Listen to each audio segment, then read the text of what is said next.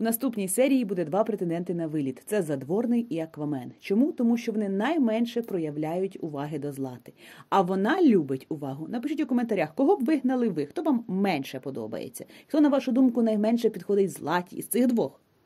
З задворним буде побачення, у них будуть грязєві процедури, адже вони на морі.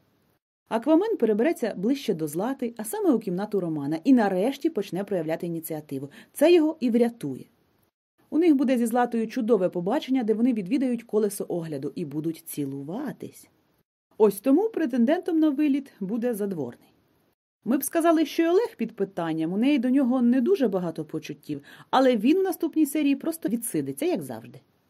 Буде також побачення з Дмитром Шевченко, якого не було в анонсі. Вони зі Златою поїдуть до Одеської області, е, в місто Білгород-Дністровський, на Акерманську фортецю. Це такий палац, замок. І вони будуть там виготовляти власноруч за старовинною технологією монети. Це буде дуже романтично. І це побачив один із глядачів холостячки ще на процесі зйомок. А вилетить, я думаю, все таки задворний, тому що, хоч він їй подобається, і хоч існує відома приказка Пушкіна. Чим менше жінку ми любимо, тим більше нравимося ми їй. А це якраз технологія поведінки задворного, він не дуже багато уваги приділяє жінці. Хоча й ревнує, видно, що вона йому подобається. Але в даному випадку приказка не спрацює, тому що у Злати дуже багато претендентів на її серце, є з кого вибрати.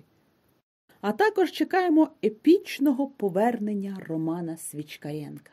А кого б в наступній серії вигнали б ви? Напишіть у коментарях. Подобається холостячка? Підписуйтесь на канал.